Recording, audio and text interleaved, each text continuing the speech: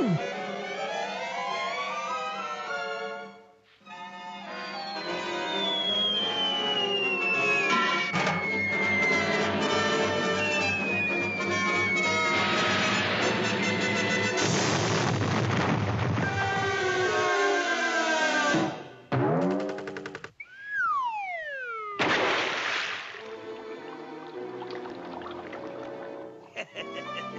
and now for a father son barbecue.